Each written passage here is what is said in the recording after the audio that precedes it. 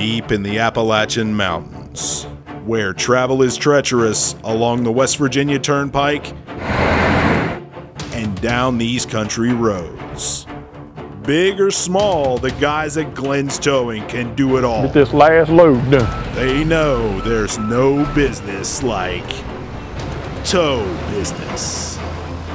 This week on Tow Business. In the first episode of Tow Business, we introduce you to the towing and recovery professionals at Glenn's Towing. They've got the heavy duty equipment and know how to tackle everything the Mountain State can throw at them. Welcome to Tow Business. I started off with two trucks. When Tom come to started helping me doing it down at the Mossy, was just basically got into the towing and stuff and found out that Glenn's Towing was coming up for sale. So we actually purchased it 10, 11 years ago. We had 10 trucks starting out. We've got two rotators now, 60 ton rotators, which very few people in this area, if any, has one. At now, there's close to probably 35, 40 trucks. We've got uh, six heavy duty wreckers for big trucks where most companies don't have, which we, when we started, we had one. So we've taken it to a, a different level where, like I say, employees was just me and Chuck at the time, and now we're up to, like I say, 40 plus employees. That's what's kept us going. We've got some dedicated employees that help out. Usually when, um, what'll happen is say if a vehicle breaks down or a motorist or truck, whatever, they'll call our number here at the shop. They'll call in, we have dispatchers here 24 seven. Uh, they'll take the information, their location, basically what they think wrong their vehicle, where they might want to go, how many people's involved. We'll dispatch the appropriate vehicle, whether it's a car or a large truck.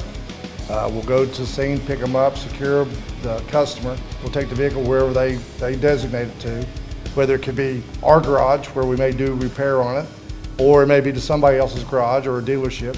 In our garage, we offer full service anywhere from an oil change, tire repair, uh, all the way up to engine overhauls. Uh, we do radiators. The West Virginia State Inspection stickers, we do them.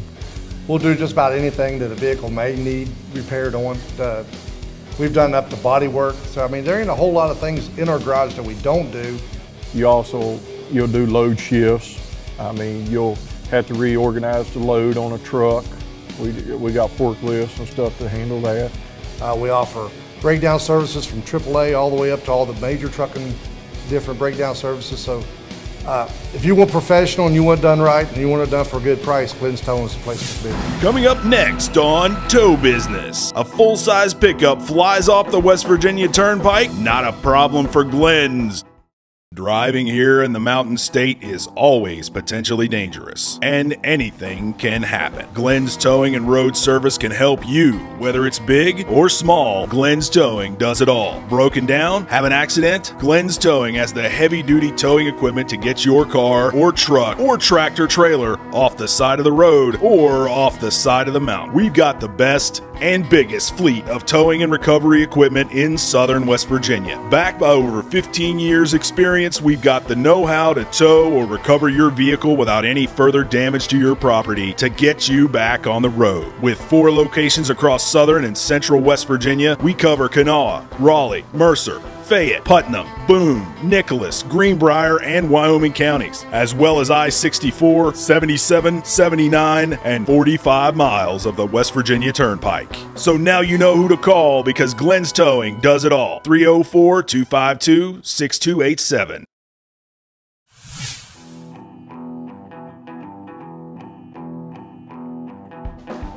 Just another day at the office, and let's put that 60 ton rotator to work on the West Virginia Turnpike. We've actually got to go down to recovery pickup that uh, went over into the median uh, a couple nights ago that wrecked. And Turnpike, the reason we didn't get it because Turnpike had to set us a lane closure up where we could use the left-hand lane to get in and to get out. Which we're heading that way now because I finally got the lane closure set up this morning.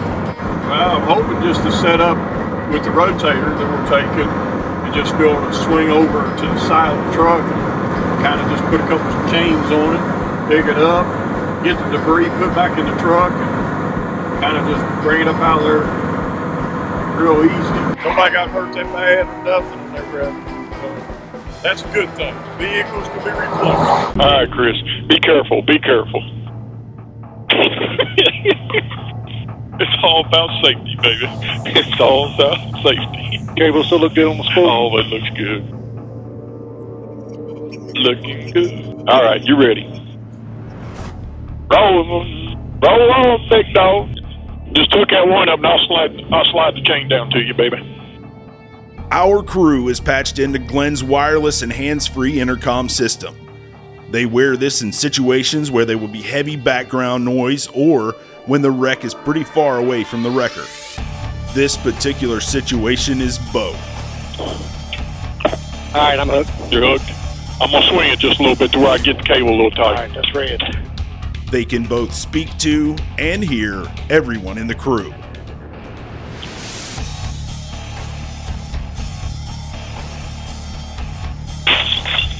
There's one.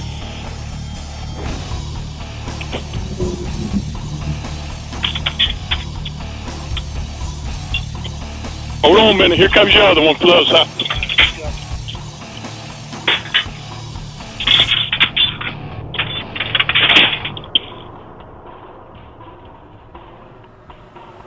Coming at you. All right.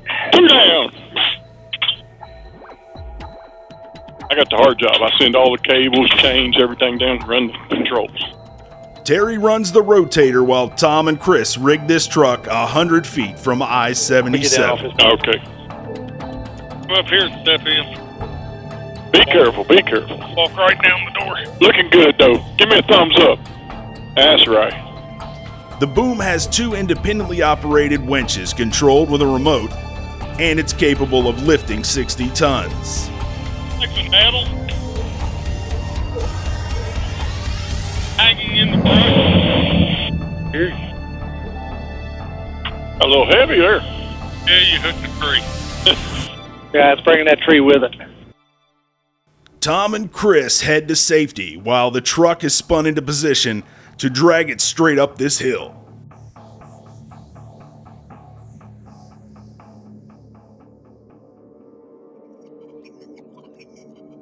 Oh yeah, Tom's almost got it. Almost.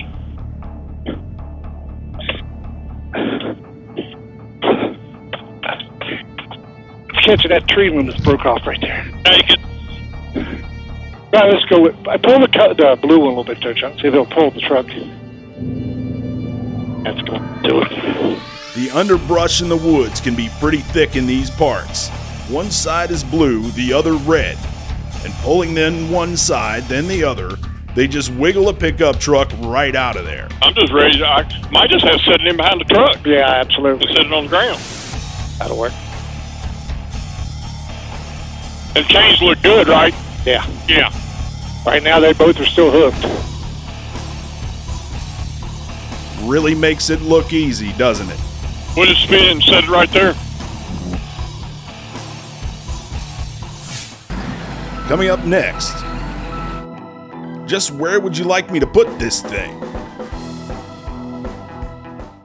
Mountain State's natural beauty is its best kept secret. Evergreen Environmental Management is on call 24 7 to keep West Virginia green and clean, ensuring you and your children have a safe place to work and play. Hazardous materials are all around us in trucks, trains, and even airplanes. When these chemicals spill, Evergreen is there in minutes of an environmental emergency with proper absorbent materials scientifically designed to attract chemicals and petroleum based products to stop the spread of dangerous pollutants. Evergreen has the heavy duty equipment to do whatever is necessary to contain a spill and dispose of it properly. Liquid or gas contaminants can be pumped out and disposed of in accordance with the letter of the law. Contaminated rock and soil is tested and analyzed to make sure the proper disposal method is used and put into action to stop the seepage of pollutants into our environment. Evergreen Environmental Management, there for you to keep wild and wonderful West Virginia green and clean.